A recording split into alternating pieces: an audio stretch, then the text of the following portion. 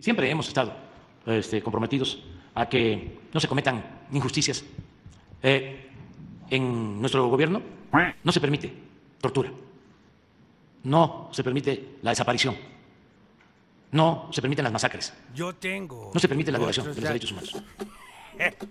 No es un gobierno represor como los de antes.